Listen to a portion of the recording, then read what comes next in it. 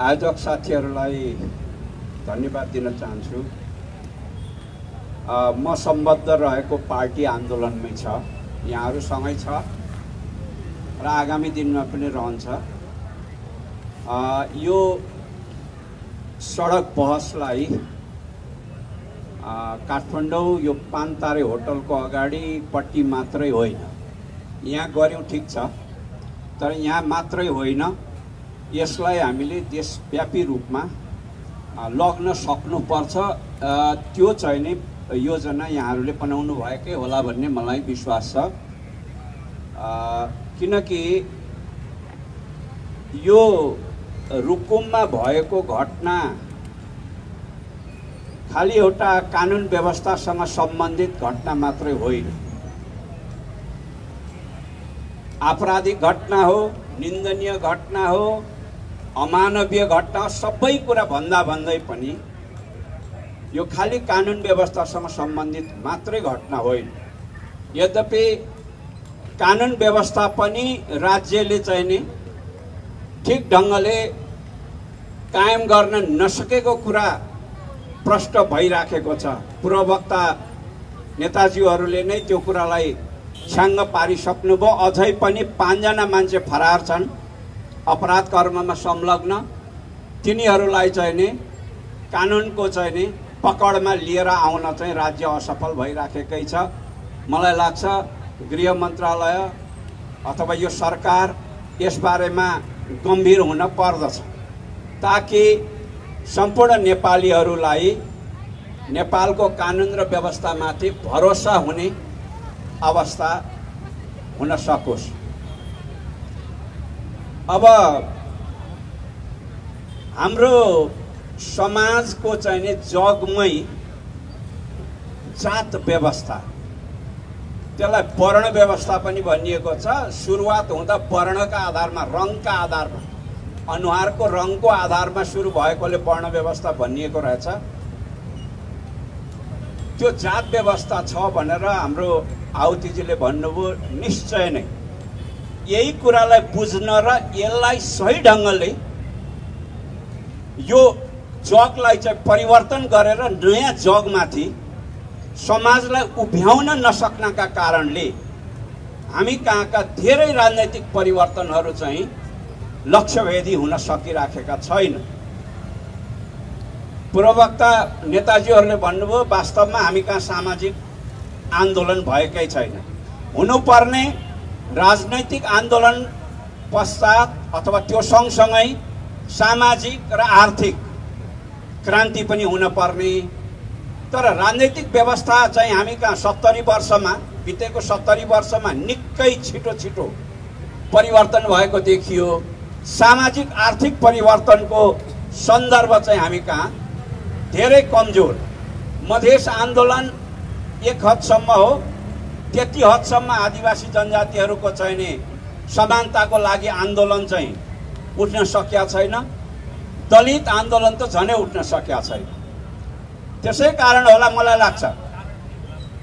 कारण चाहिँ नि म आउँदैछु। कारण चाहिँ नि तपाईँलाई सबभन्दा समाजको एकदमै पिँधमा जसरी सबै किसिमको चाप चाहिँ पर्न जान्छ।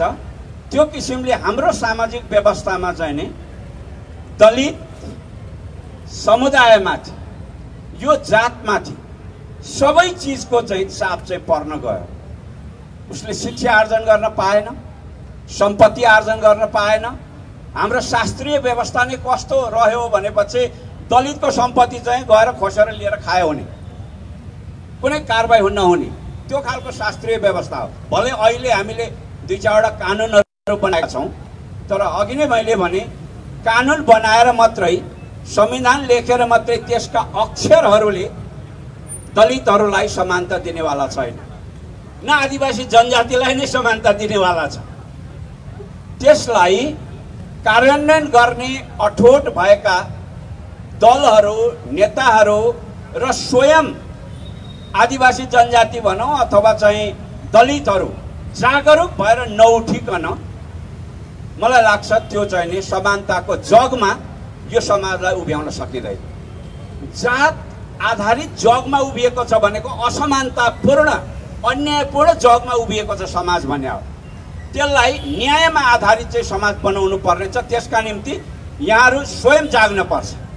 र यहाँहरू स्वयंलाई पनि खण्ड खण्डमा विभाजित गरेर तपाईँलाई त्यो सानो ठुलो भन्ने खालको चाहिँ नि भावना यति धेरै मनोवैज्ञानिक हिसाबले दिमागमा चाहिँ खाँदिएको छ। भनी साध्यै छैन। उठ्न हिम्मत नगर्ने खालको तहमा पनि कति हाम्रा दाजुभाइ दिदीबहिनीहरू छन् र यो संविधानले समाधान दिँदैन। यहाँ विभेदका धेरै पक्षहरू छन् धेरै व्यवस्थाहरू छन् यो संविधानमा। यो संविधानमा सबभन्दा पहिलो कुरा त दलित भन्ने शब्दावली बिस बाइसवटा ठाउँमा छ बिसभन्दा बढी ठाउँमा छ। यो दलित भन्ने शब्द नै सुन्दाखेरि मलाई चाहिँ त बडा दुःख लागेर आउँछ। किनभने दलित भन्ने शब्दको अर्थ चौबिस सालदेखि यता प्रकाशित भएका शब्द शब्द माने शब्दकोशहरूमा नेपाली शब्दकोशहरूमा हेर्नुहोस् त्यो बिल्कुल चाहिँ तपाईँलाई चाहिँ के भन्दाखेरि कसैले पनि म दलित हुँ भनेर गौरव गर्न सक्ने खालको अर्थबोध अर्थ छैन त्यहाँ है? दलित भनेको के? फलमाटै फलमाटा पारिएको दलिएको चाहिँ के भन्छ खुट्टाले कुल्चिएको इज्जत नभएको अथवा इज्जत लुटिएको खोसिएको आदि इत्यादि अर्थ चाहिँ नि त्यहाँ छ। अब त्यस्तो शब्दलाई नराखिकन संविधानै बनेन। अघि सुरुमा चाहिँ ऋषिजीले चर्को भाषण गर्नुभएको थियो। दलित भन्ने शब्द मेटाउनुपर्छ भन्दै हुनुहुन्थ्यो। अब त्यो संविधानमा नलेखेर मेटेर कानुनमा मेटेर मात्रै पनि पुग्नेवाला छैन। त्यस त्यो दलित भन्ने चाहिँ नि भाव त्यसले बोकेको अर्थ समाज हाम्रो सामाजिक मानसिकताबाट मनोविज्ञानबाट मेटाउनुपर्छ। अनि मात्रै हामी समानताको जगमा यो समाजलाई चाहिँ नि उभ्याउन सक्दछौँ। त्यसो भएको हुनाले एउटा ठुलो सामाजिक अभियानको चाहिँ आवश्यकता छ। यहाँहरूले नै अगुवाई गरेर मलाई लाग्छ अब यस्ता घटनाहरू त धेरै घटेका छन् तर यो रुकुमको घटना एउटा यस्तो घटना भइदियो जहाँनेरिबाट त्यो पीडित परिवारलाई मात्रै दुख्ने अवस्था विस्तारित भएर सम्पूर्ण नेपालीहरूलाई दुख्ने अवस्थामा पुगेको छ। र नेपाल नै आन्दोलित हुने खालको अवस्थातर्फ चाहिँ नि यो उन्मुख भएको छ।